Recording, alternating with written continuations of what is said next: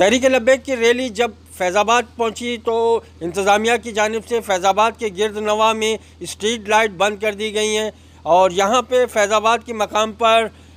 जो पुलिस एहलकार है और मार्च की शुरा में झड़पों का सिलसिला जारी है, आँसू, गैस और शेलिंग का सिलसिला भी जारी है। यहाँ पे रबर की गोलियाँ पुलिस की जानब से इस्तेमाल की जा रही हैं।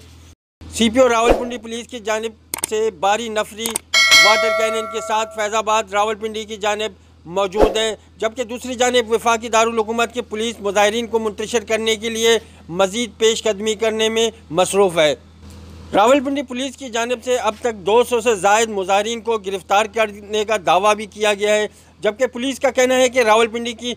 मरी रोड पर मुजाहरीन के चुप जाने के बायस उन्हें गिरफ़्तार करने में मुश्किल पेश आ रही हैं। पुलिस के मुताबिक इन झड़पों में अब तक 12 पुलिस एहलकार ज़ख्मी भी हुए हैं, मुजाहरीन के हाथों और मुजाहन के जानब से पुलिस के ऊपर पथराव का सिलसिला भी जारी है।